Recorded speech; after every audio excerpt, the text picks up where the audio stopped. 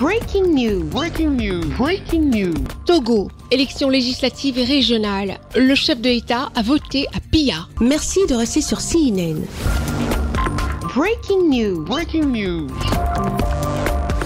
Les Togolais régulièrement inscrits sur la liste électorale sont aux urnes ce lundi 29 avril 2024 afin d'élire leurs nouveaux députés et conseillers régionaux. Le président de la République du Togo, son excellence Fort Esozimna Gnassimbe, a rempli son devoir citoyen en votant au bureau de vote numéro 1 du lycée Maman Danida de Pia, commune de Kosa 2, pour les élections législatives et régionales. Dans l'ensemble, le scrutin se déroule dans le calme et la tranquillité. Pour cette double élection, la Cour constitutionnelle a validé 2348 candidatures, ce qui représente un total de 353 listes pour toutes les circonscriptions électorales. La diversité des candidatures reflète l'énergie de la jeune démocratie togolaise et la volonté de toutes les Togolaises et de tous les Togolais à participer au renforcement de la gouvernance inclusive du Togo dans un environnement de paix et de cohésion. À l'issue de ce double scrutin, 113 députés seront élus pour la nouvelle législature et 179 conseillers régionaux pour les 5 régions administratives du Togo. Merci d'être sur CNN, la télévision autrement. Les programmes se poursuivent. Retrouvez toute l'actualité afro-mondiale en ligne et en multidiffusion sur CNN, C-Web Info et plateformes digitales, Facebook,